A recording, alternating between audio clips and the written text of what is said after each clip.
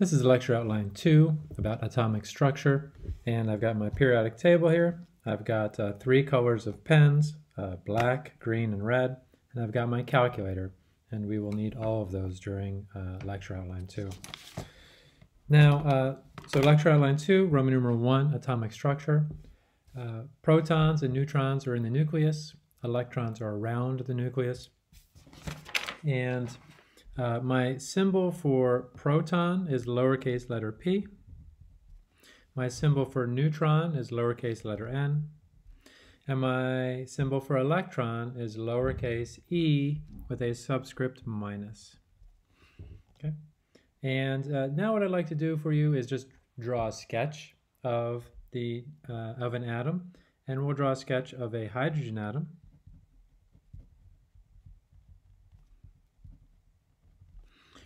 And a hydrogen atom uh, on our periodic table, hydrogen is element number one, and it will turn out that the number above the H, or the number above the chemical symbol H for hydrogen, is the number of protons.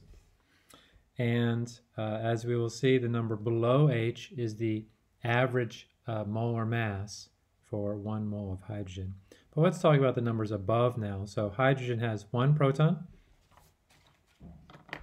uh, let's see, so over here,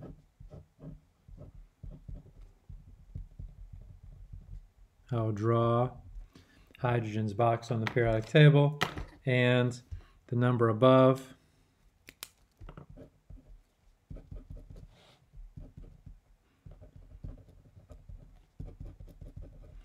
Is the number of protons or the number of P, because P is our symbol for protons, abbreviation. Okay, so there's one proton, and for an atom, an atom will be neutrally charged or have no charge. Each proton has a positive charge.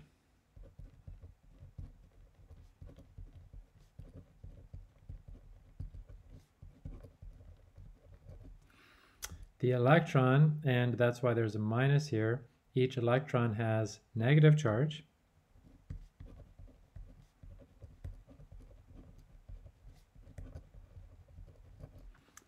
And so atoms will have uh, equal number of protons and electrons to have no charge. Okay, so now back to our picture. So if this is the atom, and atoms are going to be spherical, and when we draw them in two dimensions, they'll be circular. Let's suppose this was an atom. The nucleus is one one hundred thousandth the radius of the atom. And so if we, and it's in the center, and so if we were to draw the tiniest little dot here that was the nucleus, we will still wouldn't be able to see it. It'd just be so tiny. So I'm actually going to draw a dot in the center. But that is probably 1,000 times bigger than it should be if this is the radius of an atom. So the nucleus is a very, very small portion of the center of the atom. So nucleus. Very small, uh, like if we think of the volume or the space of an atom, the nucleus is a very small part of the volume of the atom.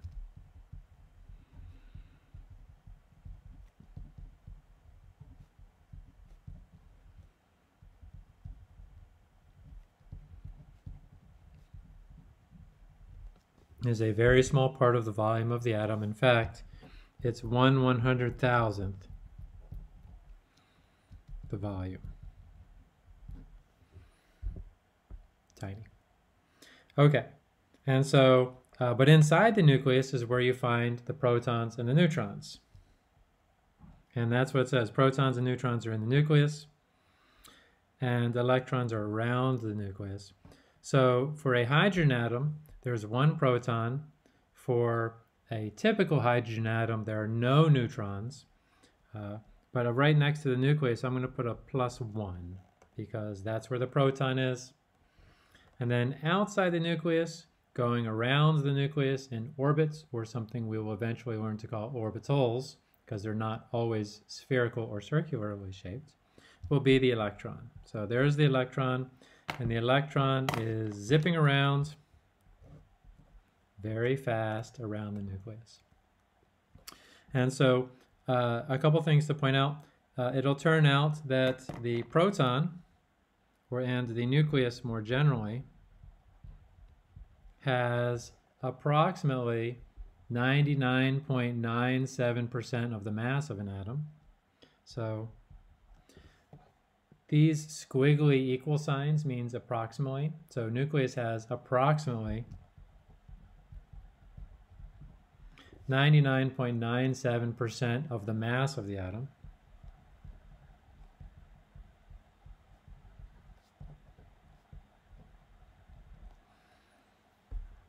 And yet it's only a tiny fraction of the space. So the vast majority of the space of an atom is defined by the movement of the electrons. So the size of the atom, let's get, so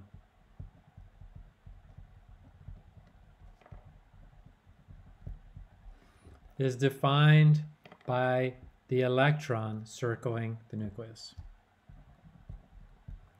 Is defined by the electron circling the nucleus.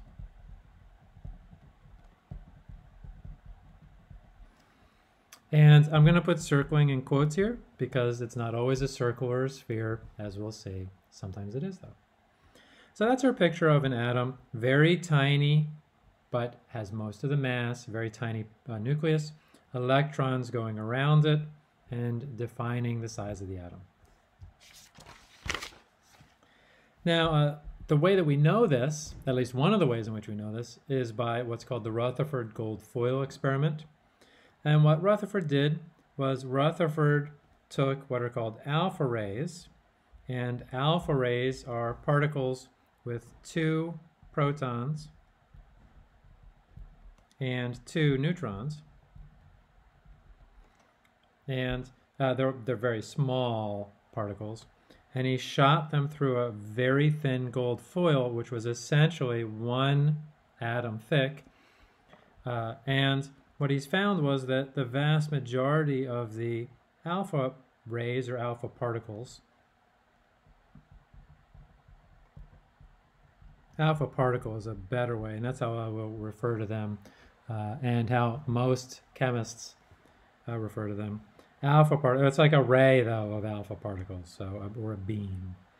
Anyway, so most of them went straight through, and the fact that most of them went straight through signified that the atom is mostly empty space. So atom is mostly empty space.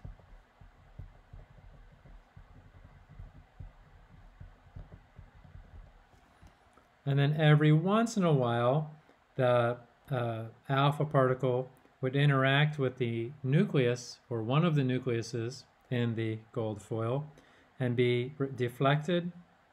And that was pretty cool. But then, every once in a while, even further, one of them would be reflected. And that was our signal that the nucleus must be massive, meaning has most of the mass of an atom. So this reflected beam result means that most of the mass of the atom has to be in the nucleus.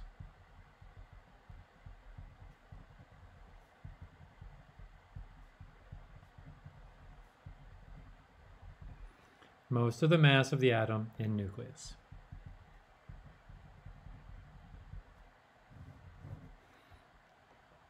And uh, we don't have to know, or you don't have to know, what the Rutherford gold foil experiment was or who did it, but you should know that this um, this experiment is how we got our picture of the atom, including the atom is mostly empty space, and most of the atom, most of the mass of the atoms in the nucleus.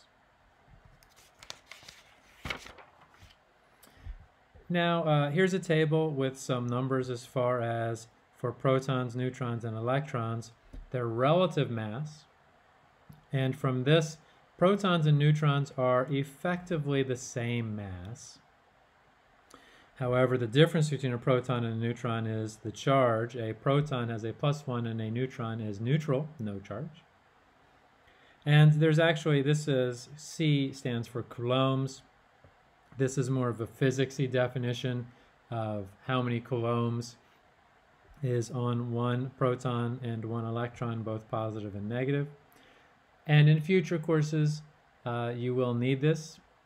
However, we don't need it right now. We just need to know plus one, minus one and neutral. And as far as masses go, the only mass that we use in this course is going to be the mass of the proton. And this is given on the conversion and equation sheet.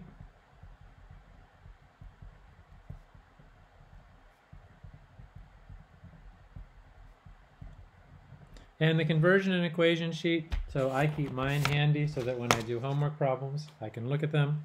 And if I look at this, right there, the electron mass, 9.1 times 10 to the minus 31 kilograms.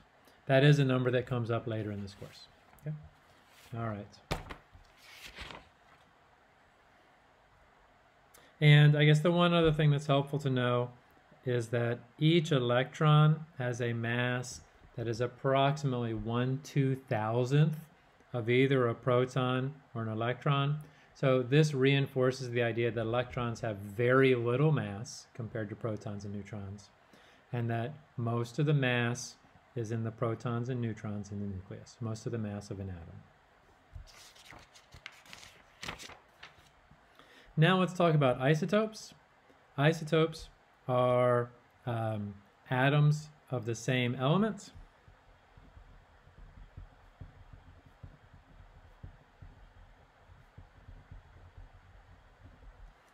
with different numbers of neutrons.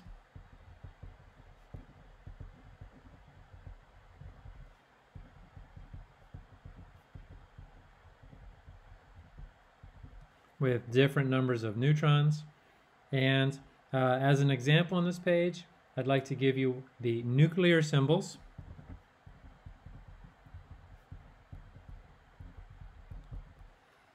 for three isotopes of carbon.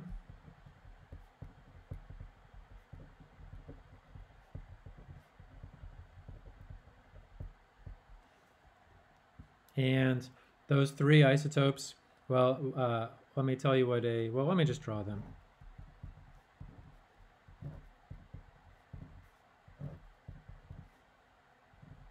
So each of these is a nuclear symbol, and uh, nuclear symbols are going to have the uh, what's called the atomic number.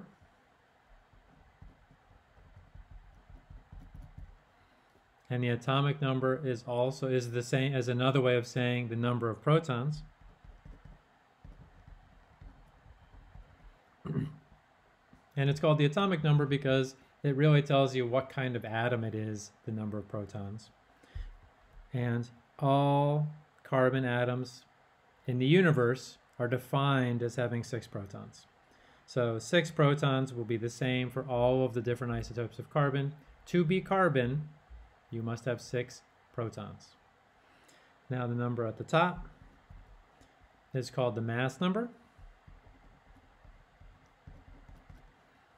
And the mass number is the number of protons plus the number of neutrons.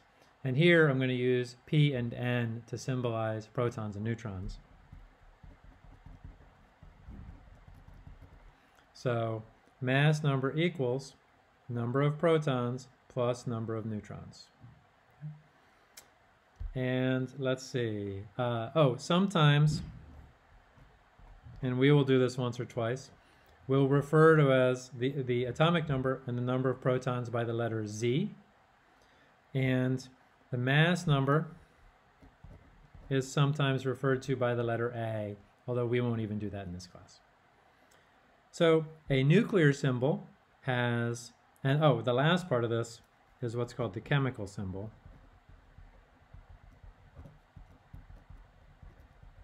And the chemical symbol is what appears for each chemical on the periodic table. C is for carbon, O is for oxygen, and Na is for sodium. Okay, so now let's take a look at these and we'll categorize for each of these the number of protons. And again, for carbon, it's always six. we'll do the uh, number of neutrons. And for number of neutrons, we can say, well, 12 is the number of protons plus the number of neutrons. Subtract off 6 for the number of protons, and you get left with the number of neutrons, 6 in this case. And 7 and 8. And so that's, that's the difference, um, is the number of neutrons. And if we said now one more, number of electrons in the atom, we said on the previous slide that for atoms, number of electrons equals number of protons. So these are just six as well here. And there are some questions on the homework that ask, ask you to break down different isotopes according to these sets of uh, rules. All right. Now, I will mention this. So it turns out that carbon 12 and carbon 13 are what are called stable isotopes. So I'm just going to write stable isotope. Stable, not staple, stable isotope. And that carbon 14 is radioactive. In fact, carbon 14 is fascinating because carbon 14 is the radioactive isotope of carbon that allows uh, items to be carbon dated, meaning you look at the amount of radioactive carbon 14 to tell how long ago something lived. Happy to talk about that in uh, office hours. However, that is a level of chemistry that is beyond this course. Uh, all right, stable isotope. And it will turn out that uh, of the carbon in the known universe, 98% is carbon 12 and 2% here, and these are approximate, so they're going to get squiggly equal signs. Approximately 98% is carbon 12, approximately 2% is carbon 13, and this is related to the fact that the number on the periodic table under carbon, in carbon's little box, is 12.01. And it turns out that carbon 12 has a mass of 12, carbon 13 has a mass of approximately 13, because there's 98%, the 12.01 is going to be very close to the number 12. And we'll talk more about this in the future. Um, the one other thing I want to say about these before we leave this page, carbon 12 is the pronunciation. So if you wanted to refer to the isotope carbon 12, you would call it carbon 12. This is carbon 13. And carbon 14. And there is no real amount of carbon 14 because it's radioactive and it's constantly radioactively decaying away. And there's more behind that as well. But we won't talk about it now because, again, not on the exam, not part of the chemistry that you have to know for this class. One more page at, uh, in this portion of lecture outline, atoms versus ions. So we've already talked about atoms. Atoms have protons equals electrons because they have no charge.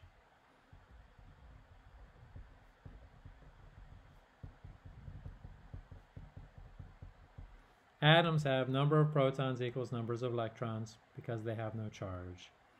Uh, ions, on the other hand, will have charges. And so in general, ions have that the protons and the electrons are not equal. And so let's do a couple of examples. Example one is going to be for a sodium uh, atom. And well, I'm going to draw the nuclear symbol here. So sodium, let me get a page under that.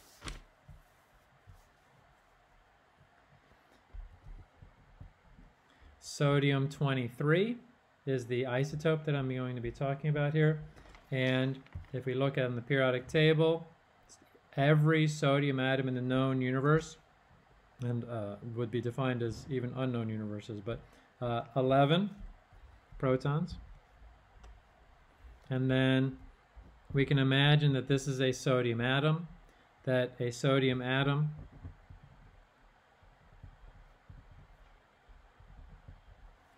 will tend to become charged and become a plus one and plus one electron. And what I want to talk about is number of protons, number of neutrons, number of electrons in each of these species. Number of protons will be the same because 11 is always the number of protons for sodium. Number of neutrons, well, this is neutrons plus protons. Subtract off the protons and you get 12 neutrons. And again, this is the same. So what this is telling us is nothing is changing about the nucleus in this process that I'm talking about. Now, number of electrons equals protons here. So that's going to be 11. And then it's plus 1. If you're plus 1 charge, that means you have to have one less electron. So there are only 10. And then what we can think of is, well, one electron, true, doesn't even make sense for it to have a proton or a neutron. But it is one electron, so we can fill those numbers in there. And what you can see is this process describes a sodium atom of sodium 23 losing an electron, and that electron becomes a, we can think of it as a product. And so we have now determined how many electrons are in the sodium plus ion. On the other hand, we can do a similar thing for fluorine 19. Fluorine element number 9 on the periodic table. And we will add one electron. And we will get a negative ion. And if we do the same thing, number of protons, number of neutrons, number of electrons, all fluorines have 9 protons. The, this isotope of fluorine has 10 neutrons. And for the fluorine atom with no charge, there's going to be 9 electrons. For the fluoride ion, as we will come to know it, there's one additional electron. And so, and in fact, if we keep track of things in this way, we'll be able to identify how many protons, neutrons, and electrons are in each chemical species. And you can see here that uh, the number of protons and the number of electrons are not the same for ions.